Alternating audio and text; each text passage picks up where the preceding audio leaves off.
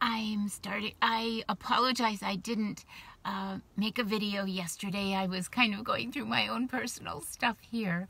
But um, given the energy that we are all experiencing, I'm not surprised. And I bet you all are kind of going through your own stuff too. And you know, that kind of led me to think about why do things happen to us? Um, is it is it good luck? Is it bad luck? I mean, good things happen to us and bad things happen to us.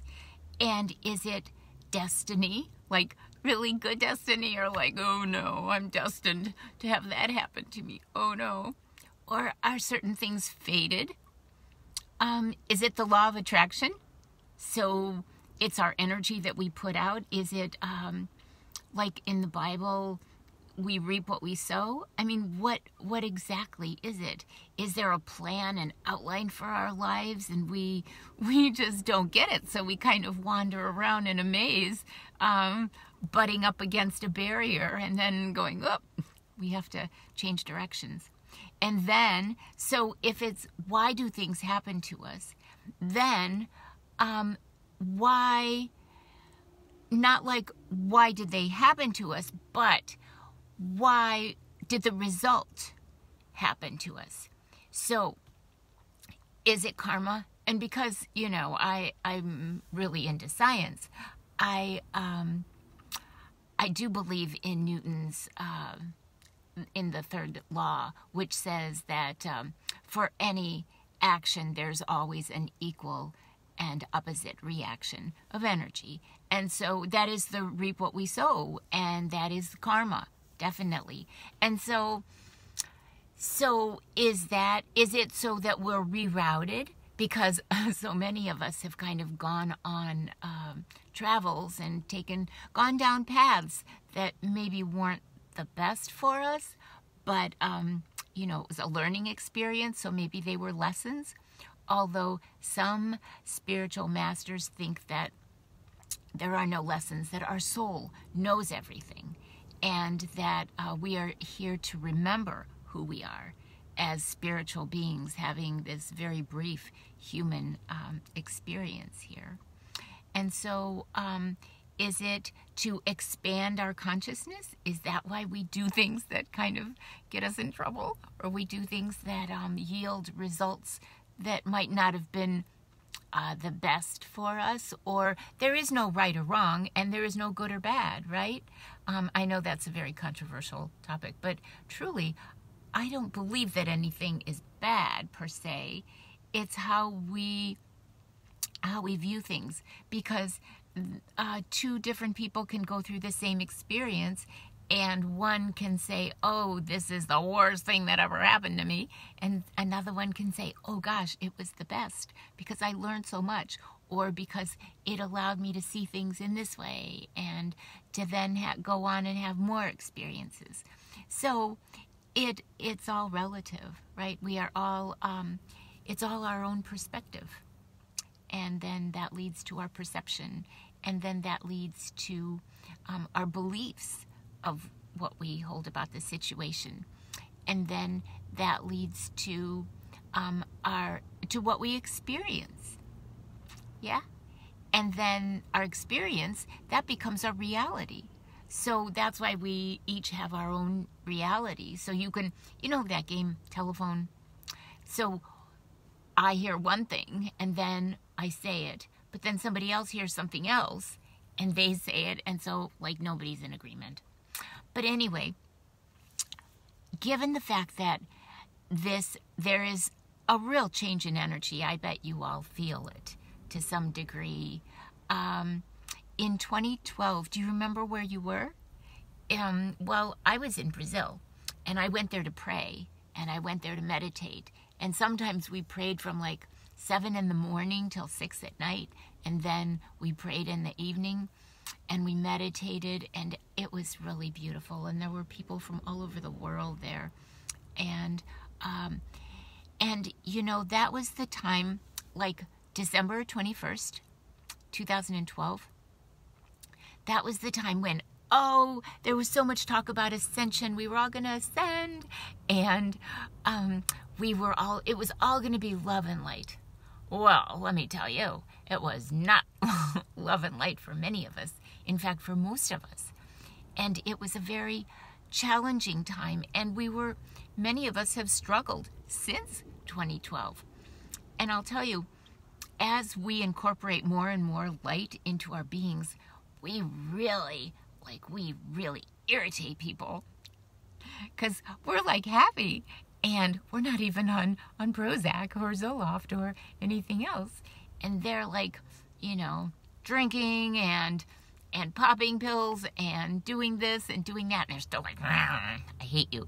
I hate you. You're a bad person. And I'm like, oh my gosh, um, I, I understand you. I see, I see the Christ in you. I see your soul. You are just dealing with a lot of trauma, a lot of wounds. And so people just really don't like me.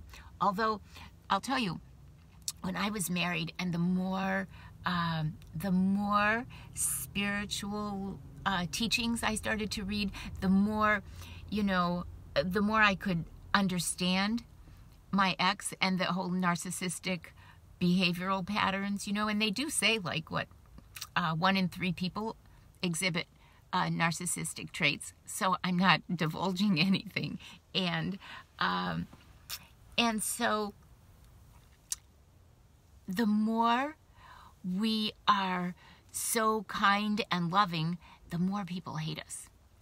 I found that uh, because you know we they just don't get it, and they think we're we're fake. But really, I was a fake when I was pretending to be happy but not happy because I was living a life that wasn't the right thing for me. You know, um, just living a regular life of you know all the material things and I, I mean, don't get me wrong, I, I certainly enjoyed my little palace and uh, all my travels here and travels there and all my things and antiques and shopping and all that stuff. But you know, um, at some point when you're laying in bed and you're thinking, you know, there's nothing more materially that I want.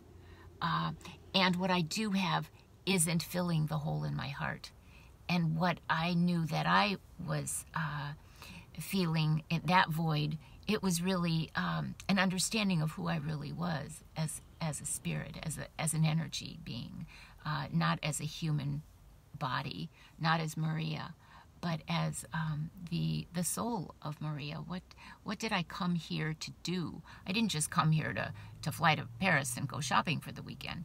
I didn't do that. I didn't um, do uh, come here to go to law school. I didn't come here to um, to have a master's in anatomy. That's not my that those are things that I accomplished, but that isn't who I am. Who I am, none of that stuff means anything to me. I don't use any of that. You know, I taught nurses anatomy. I, I use the electron microscope. I, uh, my forte was brain and spinal cord you know, I went to Northwestern. I mean, I I have a lot of, you know, you would say credentials, but you know what? I don't use any of that. I mean, maybe in the deepest recesses of my mind I I have that knowledge, but really that didn't make me happy. What made me happy was when I learned to meditate and when I learned when I started getting visions and um, when I started to know that there's a higher power. And when I started to see the signs that, um, you know, the animals, like the totems, they there's meaning in everything. And when I started to see the miracles that were all around me, I mean, if you take a scene, you will just open your eyes and open your heart, and you will see the miracles before you. And it is the most spectacular, the most loving, the most lovely experience. And, you know, I know that as I became more loving and, and forgiving of people who, you know, didn't like me. I didn't care if they didn't like me. They didn't understand me. And so, and then I had to understand them because you know um, we talked about yesterday when you go into a cocktail party and you just know that it's just not the right kind of vibe as your vibe increases the people who have a lower vibe, they don't like you. And so because because uh, they're not consciously disliking you, it's that you bring up their shadow selves. You bring up some of the darkness within them that is not processed yet. And so as you do that, uh, a lot of their fear and their anger bubbles up to the surface, which leads me to something I had just read about um, the there's an Israeli uh, politician who, well, maybe he's not a politician, he's a scientist, maybe, and he's head of the space um, space program, the Israeli space program, and what he said is, of course there are ETs, you know, and everybody knows that. And they said, Your government knows it. Everybody knows there are ETs. You think in this universe of billions of planets and stars and galaxies, do you really think that you're so special, that you're the only ones here? Actually, you're one of the youngest civilizations. You're one of the youngest planets. And you have a lot to learn in terms of unconditional love. And what he said is that the reason why the ETs have uh, have stayed back and not wanted to interact with us as much is because um, is because they are so far progressed and they are beings of light. And if they would approach us, we would, um, their light would cause the darkness within us, the unprocessed rage and anger and fear to come to the surface. And then we would project that onto them and fear them and hate them and be angry toward them. So you see, um, that's, you know, I mean, isn't that true? That's true of the oneness within our, um, within our human beings here that we share this oneness perspective with.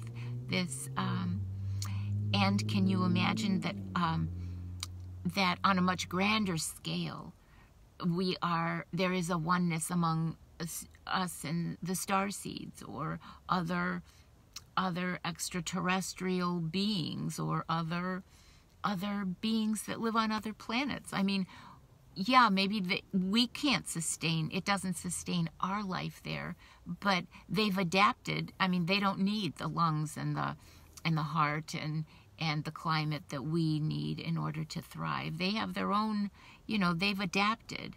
Um, uh, they've morphed into whatever type of being they need to be in order to um, to survive on their planet. I mean, they, that's how they evolved. That's what I mean to say, evolved, not morphed, but evolved. So, um, let's see. What can I tell you? Um, so, you are special. And I know this has been a very difficult time for us from 2012 to 2020. And in fact, you know, for some of you that believe in twin flames, um, I think a lot of us met our twin flame in 2011 and 2012. And because um, we brought out some of that fear and negativity within them, a lot of their shadow selves, you know, that's why they run. You know, they talk about the runners and the chasers. Well, a lot of that has to do with the the darkness still within. And then so you can't just say, oh, the feminines are the light and the masculines are the dark because they flip. You know, one runs and one chases, and then all of a sudden, um, the other one they flip because they've they've mirrored different aspects of one another, and so they they bring them to the surface, and so that's why they do say that. Uh, who knows? Well, you can't even say, but they do say that uh, you know this is a time and over the next few years of, uh, of twins coming together because they will have gotten rid of their addictions and their, um, uh, their addictions to sex, their addictions to drugs, their addictions to alcohol, their addictions to just, I don't know. But, um, yeah, so, so we'll see.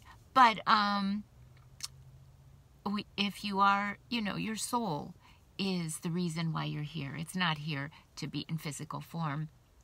And your soul is eternal. And so it can never it can never not be.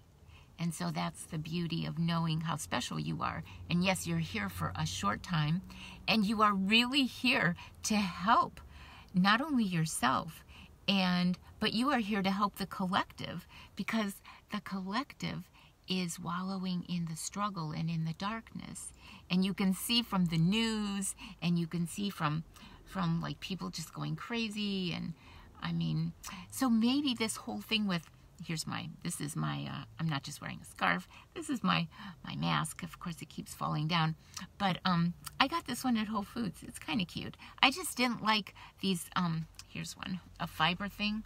You know ah and where is it on my steering wheel actually oh i can't get it off but anyway you know those they just um i can't breathe with those on they're just so um you know like the fibers get in your nose and then you start ugh but anyway, so this is a little better. It just needs um, to kind of not stretch out and fall down all the time. But anyway, let's see. Um, let's see. What what can I tell you?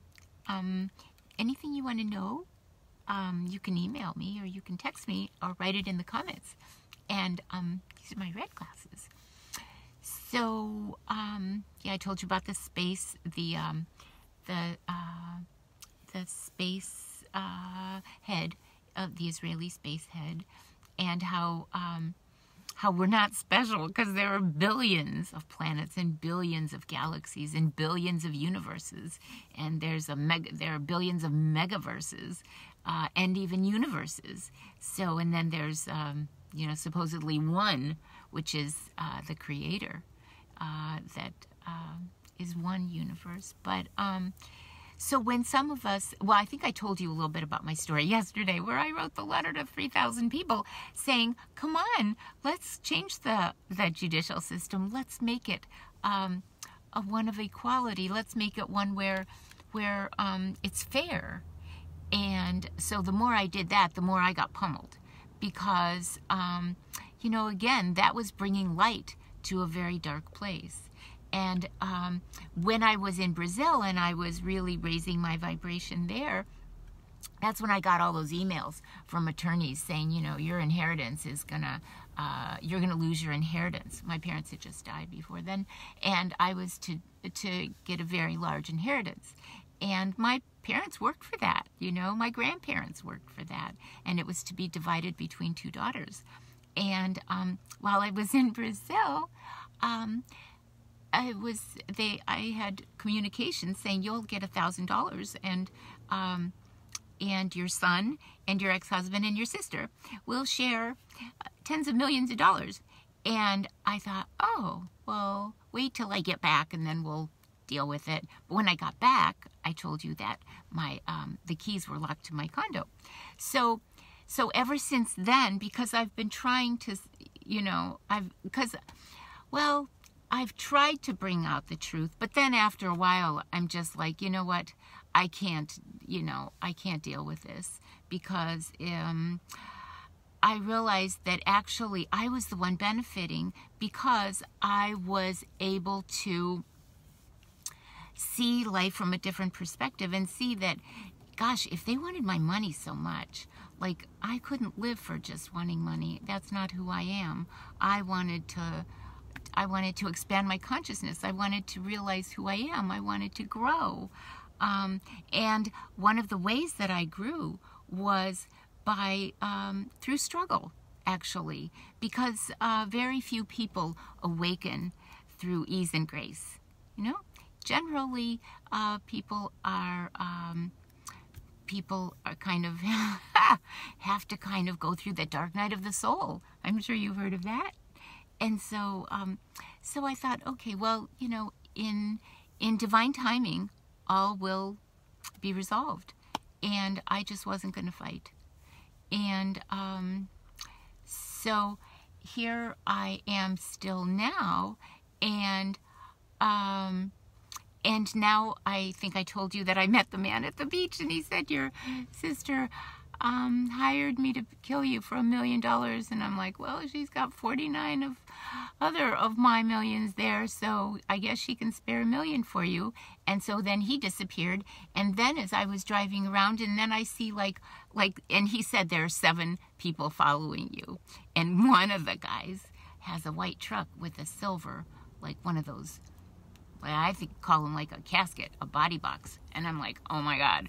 But everywhere I go, you know, they kind of follow me. And so um, I think that uh, the more the more light that we embody and the more we realize that, you know, none of this matters. You know, we're going to shine. We're going to be the best we can. And um, of course, no one wants to end this, this physical life because it's so exciting and it's so fun. Um, but you have no control over other people, and their darkness can be very, very dark. And so now, though, the good news is that with uh, 12, 21, 20, which is the 21st, in just a very few days. Today's what, the 16th?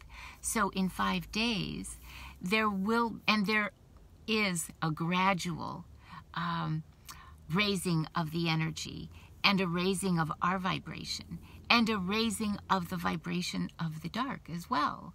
And so as we approach that, every day gets better and better. And then they can feel better about who they are because then they embody, uh, then they get to embody the kindness and the goodness. And they aren't so afraid of us because they know that they can experience unconditional love too. Because after all, that's what we're here to enjoy, to embody, to project, to um, to share with everybody. Um, it's like the birds. The birds aren't in competition with one another generally. You know, they fly together, and we can all help each other because that's what we're here to do: is help each other in whatever way we can. And to, to um, when we see somebody, to say good morning and to say hello and thank you for being you. And when you see people squirting the carts, you know, getting rid of the, uh, they have to sterilize it or sanitize it, whatever, you can just say, gosh, thank you for doing that. Or thank you for being you. Or or the clerks you know thank you for smiling. Thank you for remembering me. Thank you for this. Thank you for that because we really feel it. It's not just um, idle words. We really feel it. And we we are here to love. We really are here to love. No matter how crazy people are no matter how much they want to hurt us that's their issue. And we can we have to repel that negativity, you know, and the stronger we are in knowing how special we are, then then the more that's deflected back onto them. Yeah, I think so. So I just wanted to say that I love you and I thank you for tuning in. And I'll um, see you again tomorrow. Okay, have a wonderful day and enjoy every moment and look around and just say, Wow, look at the miracles.